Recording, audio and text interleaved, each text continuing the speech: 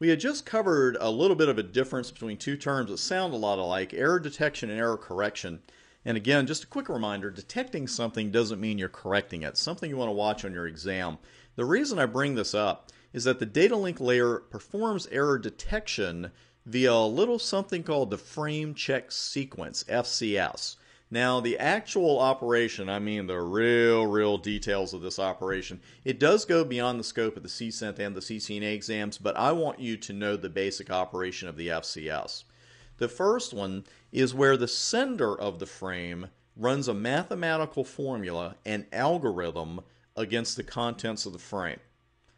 Secondly, the sender will place the result of that value into the FCS field of the frame and then sends it. There's a little frame check sequence reserve spot. Sender puts that value right in there, sends the frame.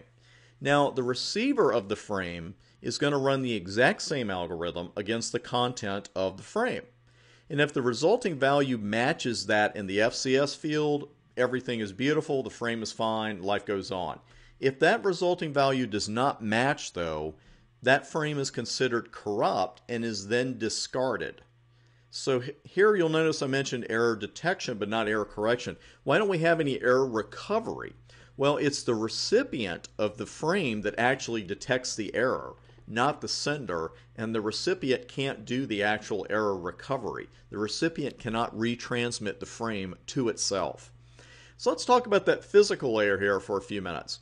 All the work we do at the upper layers is all about sending the data across the physical layer in the form of ones and zeros. And I say that all the time when it just feels like everything is getting a little complicated, uh, whether it's in my studies or I'm creating a course, anything, I just say, hey, you know what? It's all ones and zeros. You know, anytime you see an ad on TV for a tech course or a tech school, they always have those spooky looking zeros and ones in the background, you know, those binary strings. Well, that's what it's all about, turning everything we send across into ones and zeros. We're turning it into electrical signals. And electrical signals, of course, have two options, right?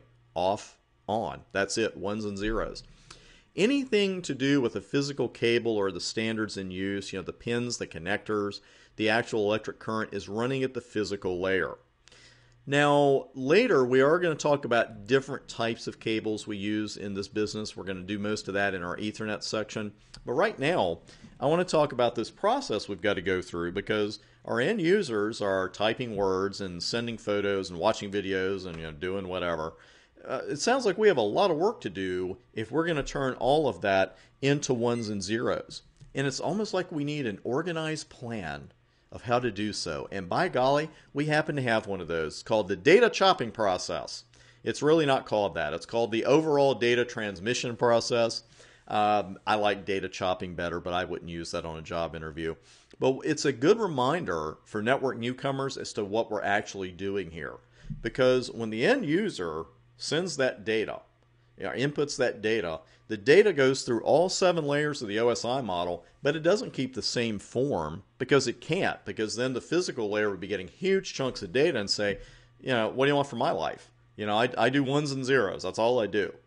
So instead of that, the transport layer begins the process of taking the data and segmenting it into smaller units and each layer below the transport layer continues that process. It's going to break it up, break it up into units even smaller until the data has been transformed into our stream of ones and zeros, and we can send that across the wire.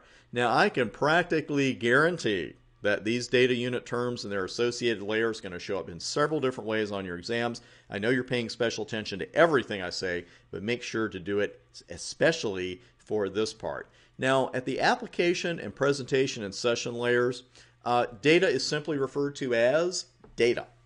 And while there are important operations going on at these layers, as we've discussed, the breakdown of the data has not actually started yet.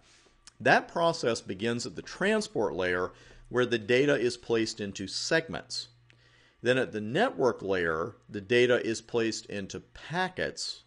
Then the data takes the uh, form of frames at the data link layer, and then finally at the physical layer, data takes the form of bits, and those bits are all ones and zeros. Now, for just a little exam tip here, Uh, a couple things you should be ready for. Of course, straightforward questions about this. You know, at the at the network layer, you know, are we working with segments, packets, or frames, that kind of thing.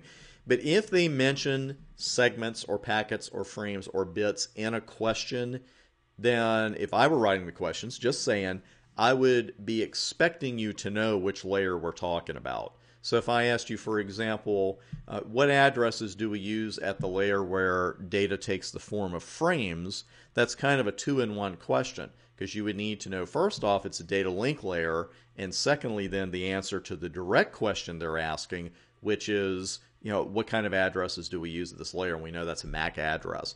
That's kind of thing you want to look out for in the exam. Nothing tricky but they do have what I call two-in-one questions where you have to know something to even be able to approach the question.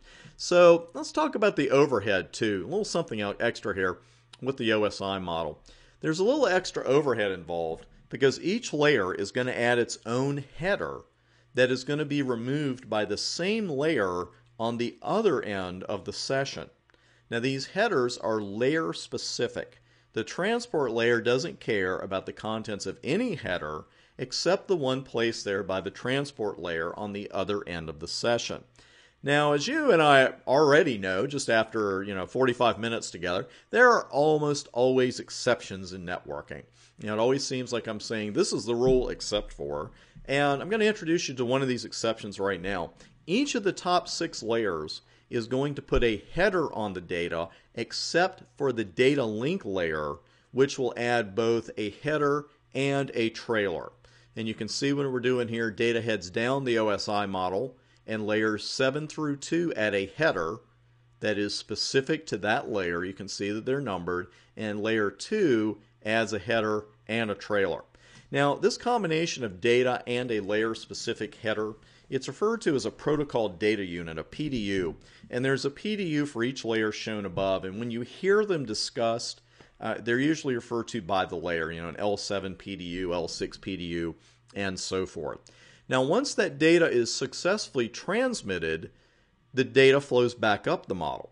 And as you'd expect, each layer removes the header added by its counterpart on the other end of the session. And this is what we call same layer interaction, because as the data flows back up the OSI model, Layers 2 through 7 remove the header or header and trailer in the in the uh, way of layer 2. Uh, it removes the header placed there by its counterpart. So say when the data starts going back up, gets to the network layer, the network layer couldn't care less about the L4, L5, L6, or L7 headers. It's just going to take the L3 header. Now, again, there's a lot of information in this section that may be new to you. So it would be easy to overlook a term I just mentioned, same layer interaction, that I threw in there in that last section. And I want to review that term with you and compare it to adjacent layer interaction because it kind of sounds the same, you know, same layer interaction, adjacent layer interaction. They sound kind of like the same thing, uh, but they are not. Let's take a look at the difference. Same layer interaction refers to an OSI, OSI layer on one end of the session, removing the header placed on it by the same layer at the other end of the session. So when the network layer on the sending device puts a header on that data, and the receiving device takes that layer 3 header off, that's what we refer to as same layer interaction. Now, adjacent layer interaction refers to the interaction between layers of the OSI model on the same host. For example, since we know 1 through 7 and what the order of the layers are, the application layer can have adjacent layer interaction with the presentation layer. The presentation layer can have adjacent layer interaction with both the application and session layers because that those are the layers directly above and below it and so forth. Okay, so be very clear on the differences between adjacent layer interaction and same layer interaction. Now, we have spent a lot of time here with the OSI model, and we're certainly not done with it. But there's another networking model that I'm going to introduce you to on the next video. It's called the TCP/IP networking model, and there have been some changes to it. So if you have studied networking or studied for the CCNA previously, don't skip the next video saying, okay, I already know that TCP/IP networking model. There's been a bit, a little bit of a change, so we will discuss that on the next video. See you there.